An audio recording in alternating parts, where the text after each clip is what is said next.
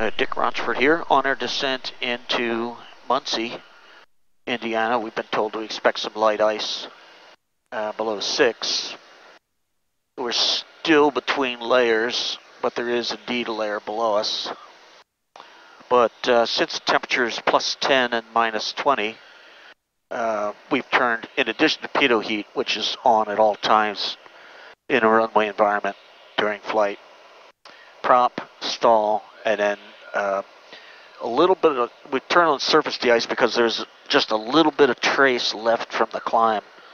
And that's all cleared off now. So, but since we're expecting ice, we're gonna just leave those on.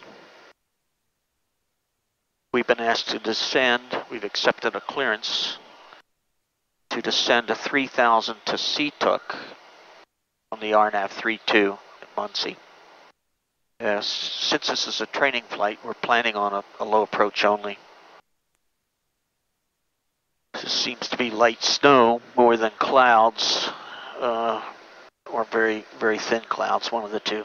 We're capturing, capturing a glimpse of the ground now and then out the side window. Thousand to go.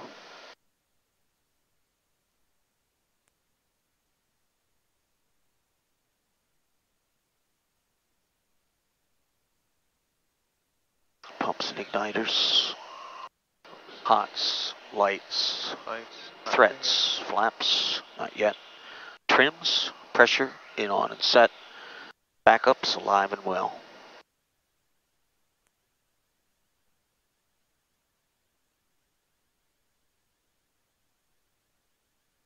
So the power setting that's giving us this particular airspeed is not arbitrary.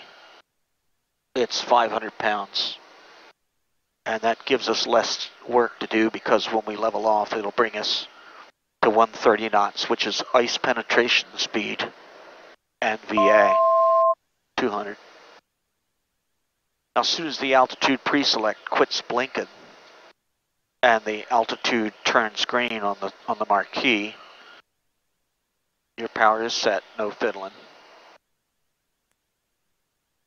In fact, this is important because if we're carrying extra ice, our airspeed may go below where we expect it to go. That would be important to know.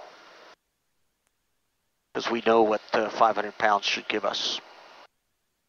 Endeavor 4729, Indy departure. Ish. Turn right direct stack, climb and maintain 1 All right, so we're locked into three, so It's set your clear next, for the approach as well. yes indeed.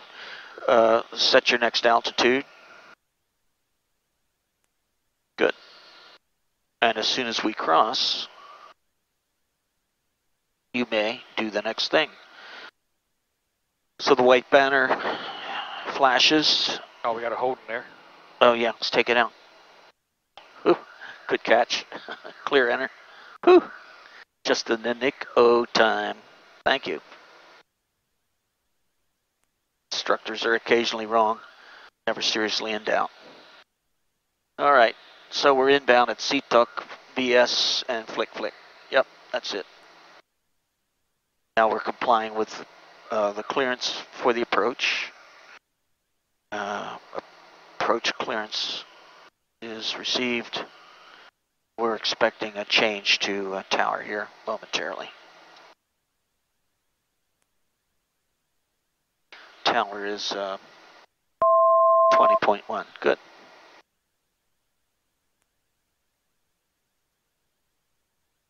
Glide is present, LPV is armed correctly.